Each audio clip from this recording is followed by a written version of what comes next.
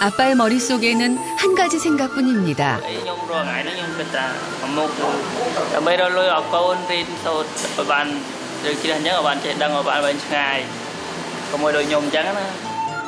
어린 남매는 그런 아빠가 하루라도 빨리 집에 돌아오기를 바랍니다.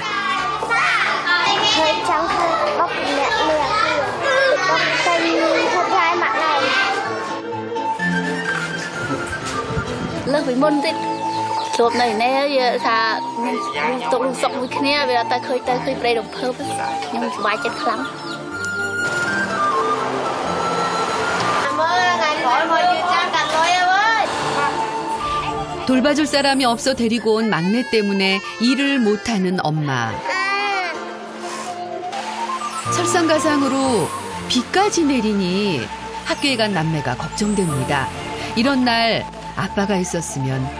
데리러 갔을 텐데 말이죠.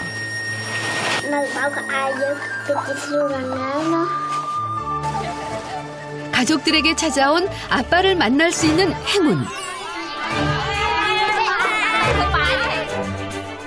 만반의 준비를 마치고 드디어 기다리던 그날이 왔습니다.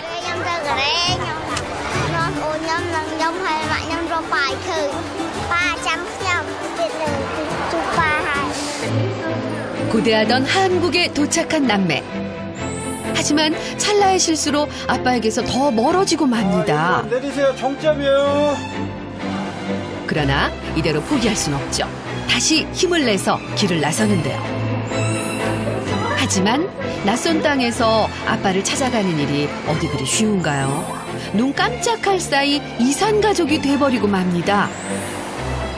과연 가족들은 다시 만나서 무사히 아빠 품에 안길 수 있을까요?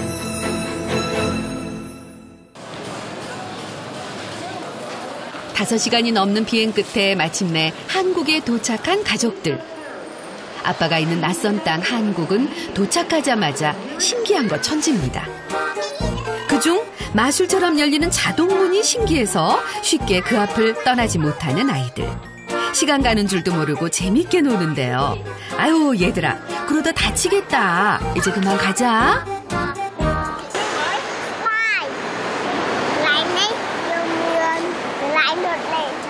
엄마가 조용해서 뭐 하나 했더니 그건 신발 치수 스티커잖아요.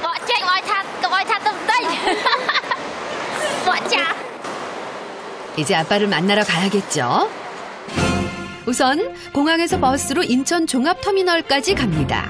이어서 고속버스를 타고 김해 여객터미널에서 내려 아빠 선물을 준비하고요. 다시 경전철을 타서 부원역에 도착 후 버스를 타고 부곡터미널에 하차하면 아빠 회사에 도착입니다.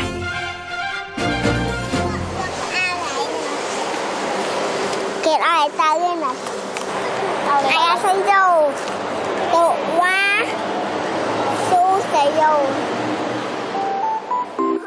둘째 넷이 그동안 갈고 닦은 한국어 실력으로 길 물어보기에 나서는데요. 사랑해요. 긴장한 탓에 뒷말은 까먹고 사랑 고백만 했네요.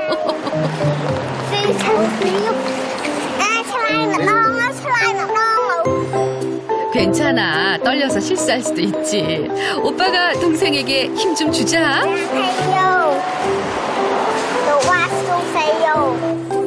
그래, 잘했어. 2번, 라인 2. 감사합니다. 바로 가서 타야 하는 303번 버스가 오는지 확인부터 하는데요. 어!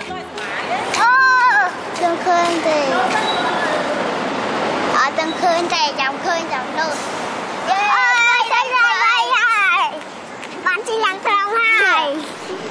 Nhưng 버스에 타서 계산도 척척 해내는 립. 장남 역할을 톡톡히 해냅니다. 버스에 앉으니 긴장이 풀리는지 주변 풍경이 눈에 들어오는데요.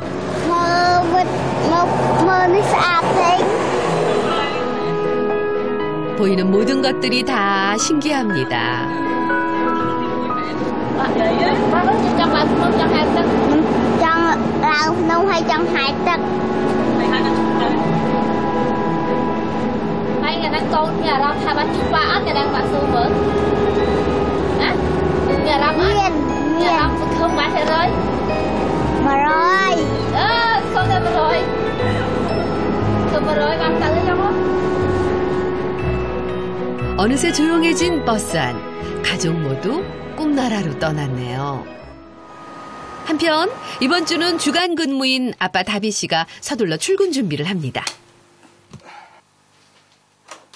아빠의 아침 식사는 대부분 차가운 빵과 우유입니다.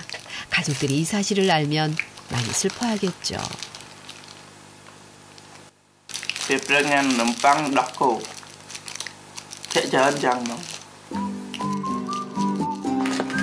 건강을 위해 오늘도 자전거를 타고 출근하는 아빠. 내 몸이기 이전에 가족 전체의 생계가 달려있는 몸이기에 하루라도 운동을 빼먹을 수는 없습니다. 아빠는 자동차에 들어가는 작은 부품을 만드는 회사에 다니고 있습니다. 거의 모든 공정이 기계로 자동화되어 있지만 기계에 원자재를 넣고 빼거나 세척하는 일은 사람이 해줘야 합니다. 그걸 바로 아빠가 하고 있는 거죠. 이렇게 생산되는 소형 부품이 약 32가지 정도 됩니다. 일단 출근을 하면 대부분 계속 서서 일하기 때문에 2시간에 한 번 10분씩 쉬는 시간이 주어지는데요. 이 시간 동안 아이를 사진을 보는 아빠. 그냥 보기만 해도 피로가 싹 풀리는 것이 천연 피로 회복제가 따로 없죠. 누가 만들어준 거예요? 안녕. 아빠는 가족을 떠나온 후 한 가지 생각만 하고 살아왔습니다. 다 고모도 용 마오지 폴라건장, 톰랑 톰이 마오지 니셋.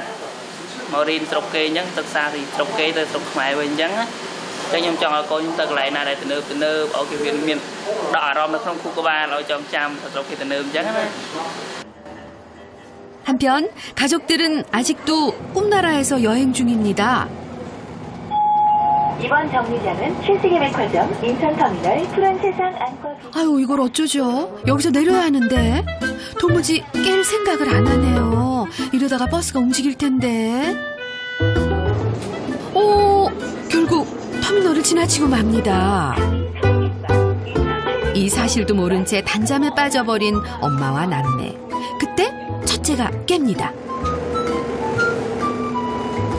아유 아까워라. 조금만 더 일찍 일어났으면 터미널에서 내릴 수 있었는데.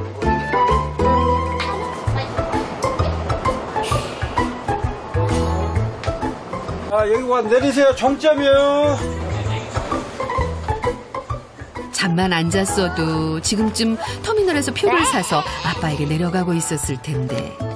하지만 후회해도 이미 늦은 일이죠. 그나저나 자고 나니 도착한 이 낯선 곳에서 빨리 벗어나야 할 텐데 길 찾기라는 막중한 임무를 맡은 첫째와 둘째가 머리를 맞대봅니다.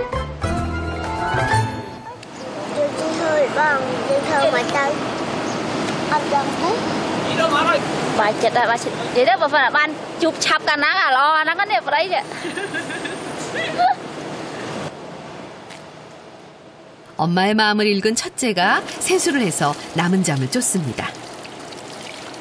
그리고 가족을 위해 용기를 내보는데요. 인천 비날 사sana 이제 터미널 가고 싶어요? 옆에 303번 타고 가세요. 첫째 덕분에 다시 아빠에게 가는 여정을 시작한 가족들. 두 번의 실수는 없어야 할 텐데 말이죠.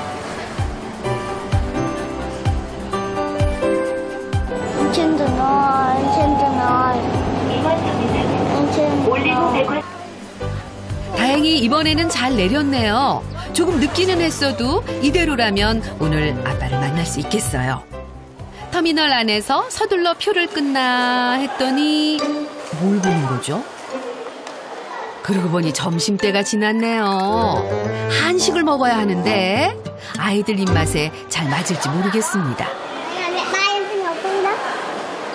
남매가 만장일치로 고른 음식은 고등어 구이입니다.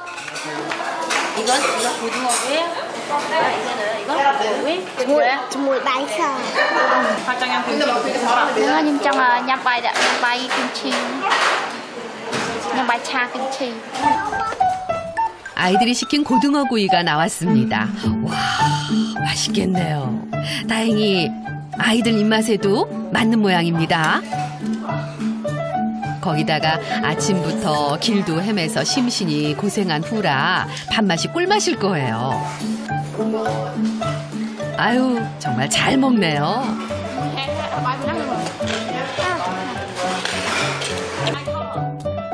어느새 거의 밥 한 공기를 뚝딱 한 첫째.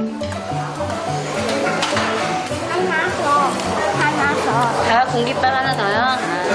음, 맛있어? 뜨거워, 뜨거워. 갖다, 줄, 갖다 줄게요. 한국에 아빠 만나러 와서 고등어 구이 마니아가 됐네요.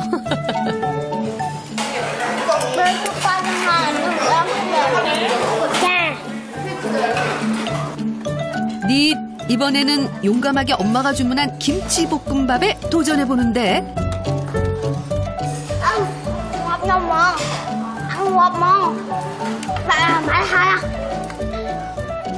밥을 다 먹은 후 김행 버스표를 사러 가는데 실수 없이 잘 살 수 있을까요? 결국 가위바위보에서 진 첫째 니시 사기로 합니다. 안녕하세요. 하양하세요. 김회 엄마요 실수 없이 표를 산 첫째. 이제 버스만 타면 아빠가 있는 김해에 도착입니다. 오, 그런데 남매가 메고 있는 가방이 눈에 익습니다.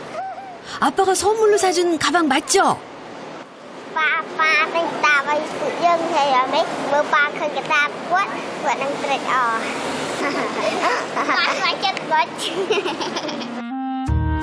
4년 전 가족을 위해서 떠난 아빠를 늘 그리워했던 아이들.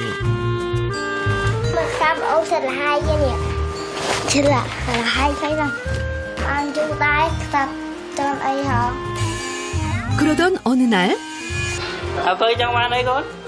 아빠 건 장만 거 뭐? 아빠 나와. 아빠 이따 기는 거.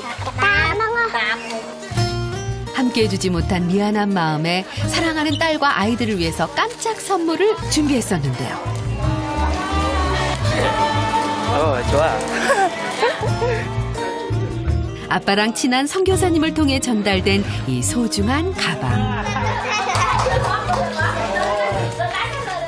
វាមានតម្លៃមិនសូវថ្លៃតែវាជាទឹកចិត្តរបស់ឪពុកធ្វើការគ្រប់បែបយ៉ាង ដើម្បីឲ្យកូនបានរៀនសូត្រកូនត្រូវចាំថាចំណេះដឹងនេះគឺជាផ្លូវដ៏ល្អទិញរបស់ល្អជាងនេះឲ្យកូនចាយមកយកយាយលើអីលើលើប៉ាតអីកូននេះប៉ាទិញឲ្យខ្ញុំអោបដូចអោបប៉ាដែរប៉ាឃើញយើងមិនសប្បាយចិត្តយ៉ាងណាឯណោះហ្នឹងហើយពេលប៉ាឃើញយើងសប្បាយចិត្ត cô tự con dân từ dân từ ngày nha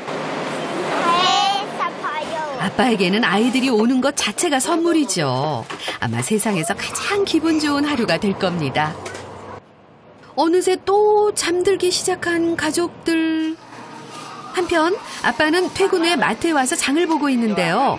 오늘 맛있는 요리라도 하려나 봐요. 어, 차가던 바랑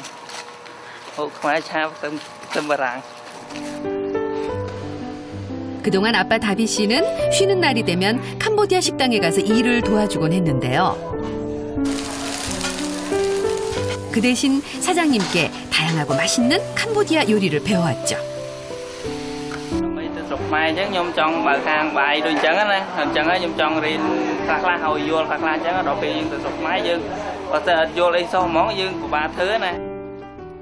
그래서 집에 있는 날이면 배운 것을 바탕으로 오늘같이 캄보디아 요리 연습에 매진을 하는데요.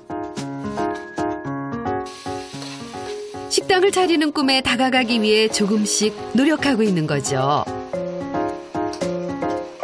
그리고 이렇게 완성된 요리는 사진을 찍어서 기록으로 남겨놓습니다. 아빠의 요리 평가는 대부분 같이 사는 캄보디아 룸메이트가 해주는데요.